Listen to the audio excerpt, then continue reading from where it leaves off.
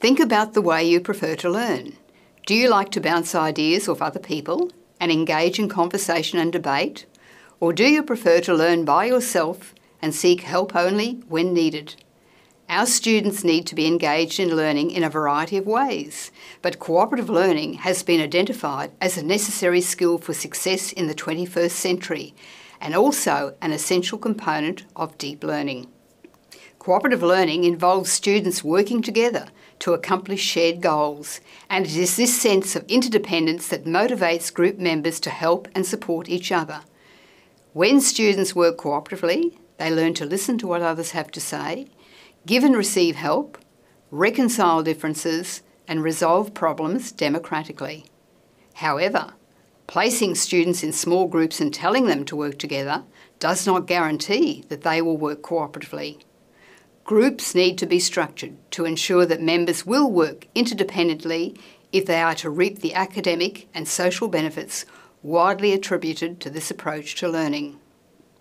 The role the teacher plays in establishing cooperative learning in the classroom is critically important for its success. This involves being aware of how to structure cooperative learning in groups, including their size and composition, the type of task set, expectations for students' behaviour, individual and group responsibilities, and the teacher's role in monitoring both the process and the outcomes of the group experience.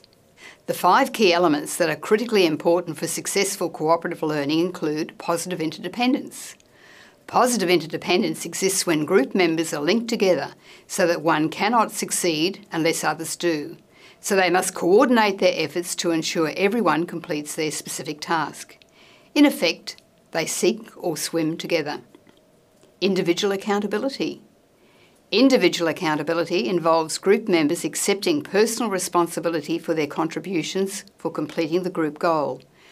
This includes not only being responsible for, for, completing one's individual task, but also ensuring that others complete theirs. Interpersonal and small group skills.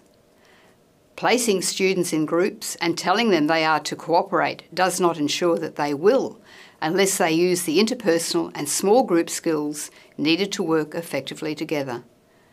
The skills that are known to facilitate students' interactions include actively listening to each other, stating ideas freely, accepting responsibility for one's behaviours, providing constructive comments, taking turns, sharing tasks, trying to understand the other person's perspective, clarifying differences, making decisions democratically.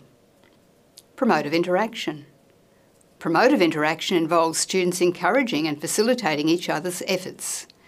Students do this when they provide information and assistance, offer constructive feedback to improve performance, ensure that all members have access to the materials and resources needed to complete the tasks. When students interact constructively with each other, they learn to use language to explain their ideas and experiences, negotiate meaning around a task, develop new ways of thinking and behaving that they may not have considered previously. Teachers can facilitate students' interactions in groups by ensuring that they sit in close proximity to other group members so they can hear what is being said and see each other's faces and participate in discussions with their peers. Group processing. Group processing is critically important for student learning as it allows members to discuss how well they are achieving their goals and maintaining effective working relationships.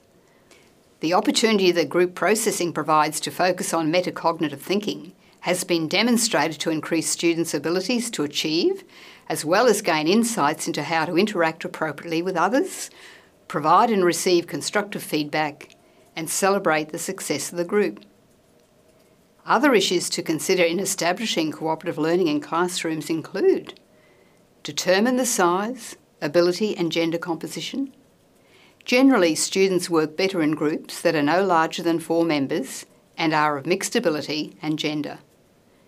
Ensure that the task that is set will allow the students to interact together. Tasks that are open and discovery based, where there is no right answer, are ideal, as students need to interact with each other to resolve the problem they are working on. Discuss expectations for group behaviours before students begin working together. What I've outlined in this video today is the five key elements that teachers need to incorporate in their classrooms in order for successful cooperative learning to take place and to encourage deep learning for their students.